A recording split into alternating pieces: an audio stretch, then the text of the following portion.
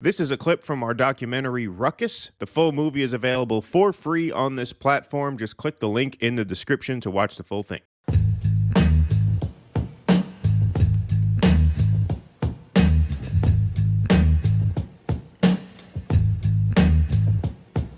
My expectation is that this will be an extremely productive and exciting year for this city council and for the people of Burlington.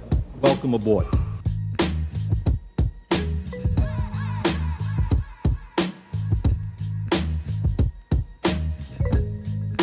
Today, I am proud to announce my candidacy for President of the United States of America. So in late 2014, early 2015, I was introduced to Bernie Sanders through my global economics teacher. Um, you know, he was getting a little bit of traction because um, first there were whispers of him running, and we were all New Yorkers, so we didn't really understand why that was such a big deal. And she like explained to us who Bernie Sanders was and what a revolutionary he was. And then he announced his candidacy and I remember there was Bernie fever. There were all these memes. He was trending on social media. So I, I, I was like, okay, I'm all for Bernie. You know, he seems to be an outsider of the establishment. Uh, you know, I had anti-establishment fever at the time. Our message has resonated much faster, much further than I thought it would. And, uh, you know, I was like, okay, yeah, I'm gonna, I think Bernie Sanders is my guy for president. I think we are touching a nerve with the American people who understand that establishment politics is just not good enough. We need bold changes. We need a political revolution. I started election season as a Bernie bro, and I ended as a Trump voter. How stupid are the people of Iowa? How does that happen? Somebody hits me where the belt's going in because the belt moves this way. It moves this way. It moves that way. Well, like I was saying, I, I had anti-establishment sentiments. I knew Hillary Clinton was a bitch, just to put it straightforward. Senator Sanders wasn't really a Democrat until he decided to run for president. He doesn't even know what the, you know, last two Democratic presidents did. And I'm, you know, I'm, I'm well, it's true. It's true. You know it's true. I knew she was evil, um, and, uh, you know, I was like, Bernie's my guy. And then he lost the primary. And then it gets revealed in the WikiLeaks emails that Hillary Clinton conspired to get him out of the race. You're back in the news, of course, because WikiLeaks uh, released thousands and thousands of emails from the Democratic National Committee. And there was like inner establishment in the Democratic Party working against one of their own people to get Hillary Clinton the nomination. Do you think this is fair game? Well, it, it, it was definitely good fun. And I was just so pissed off at that. I was like, what the hell?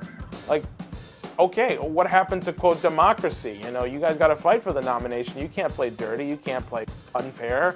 What what is this? And then what really pissed me off was that Bernie didn't want to fight it either. He then endorsed Hillary Clinton. I was like, how do you get fucked in the ass and then bend over for them again? Like, come on. Sorry, is that okay for me oh, to? Oh, yeah, no, that's great. Yeah, okay. That's very on brand. You've seen our show. Yeah. Uh-huh.